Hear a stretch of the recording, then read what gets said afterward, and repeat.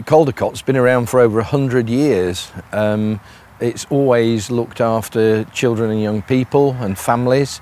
And, and, in its present form, we actually deal with children who, I guess, are at the top end of the spectrum in terms of having been excluded from school, uh, from their families. The majority of them are on care orders.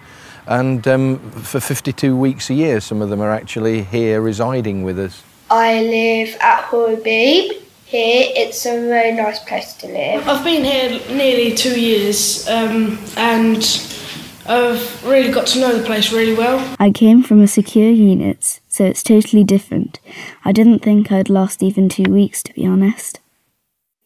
My first time, I'd not, never ever call it home, just call it Hornby. But one day I said, oh, it's my home. I don't see that I'm living in a care home. It's more like a home that I'm accepted in, and it has taught me a lot, and I don't think I've got a bad thing to say about this place. It's taught me a lot, and I love it. It's really good. My first day at home, oh my god, I was scared. I was really scared, and it was like, oh my god, how are they going to treat me here? What, what friends am I going to make? Yeah, I was all scared and I didn't want to go into class. I didn't like the shoes and it took me about three hours to get my shoes on. I kind of thought, like, this place is really helping me out and I thought, you know, I like this place, it's probably going to help me. I tried my hardest to make living here worth it. They try to make it the best place.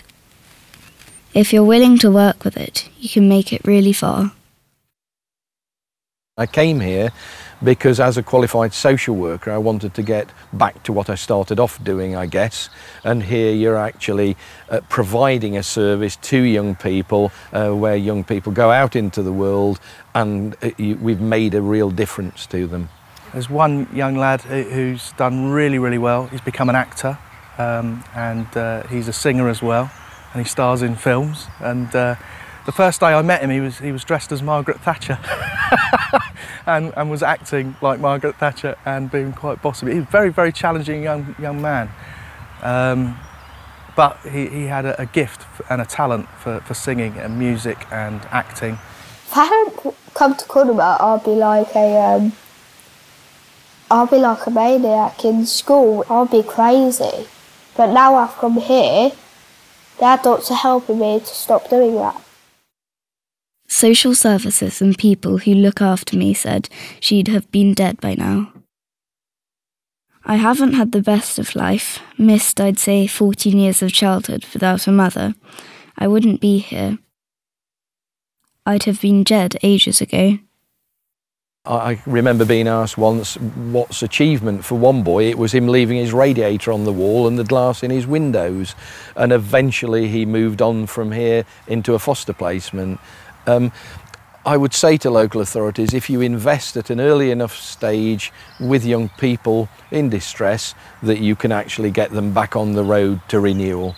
Do get a thrill when young people come back and visit. We had two young men um, who, who I was I taught in school and also looked after in residential, um, who've come who came back and visited, and they're both 27 and they're still mates, which is really lovely um, and they came back and uh, they were, it, it, was just that acknowledgement of what we tried to do for them uh, in their own way. They said thank you. I just can't believe how much I've done at Caldecott and I'd like to say thank you to all the adults that have uh, seen this video and helped me in my future.